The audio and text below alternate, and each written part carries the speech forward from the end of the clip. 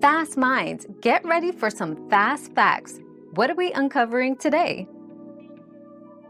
Postal services determine postage prices based on various factors including weight, size, and distance the mail or package needs to travel.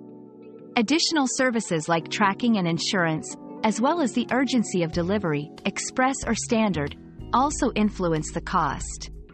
Pricing structures are designed to cover the cost of processing, transporting, and delivering items, ensuring that the postal system operates efficiently and effectively. Your daily dose of discovery ends here, but the journey of learning never stops. Subscribe and join us again for more answers tomorrow.